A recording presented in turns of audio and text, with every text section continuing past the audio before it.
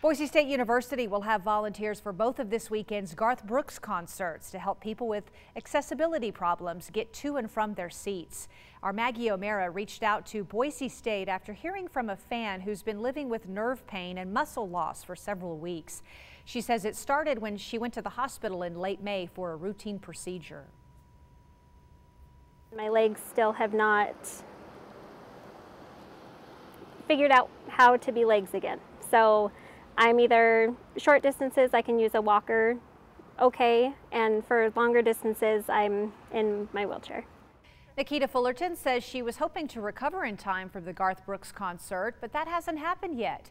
She reached out to Ticketmaster's customer service to try to get some accessible seats. They told her it wasn't a possibility. Then she wrote about the situation on social media. At first, she just wanted to make sure that her tickets didn't go to waste.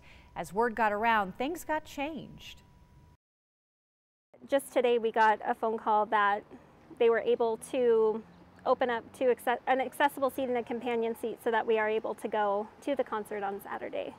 The announcement also came today in tweets from Boise State University and BSU President Marlene Tromp that the university worked with Ticketmaster to ensure that fans who need accommodation would get it and that volunteers will be in place to help people to and from their seats.